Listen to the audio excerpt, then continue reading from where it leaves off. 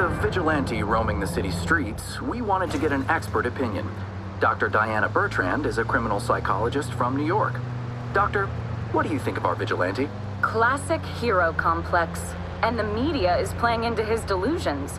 Referring to him with a catch name, reporting on every event as if it was his doing, is fueling him on. He isn't interested in helping anyone but himself.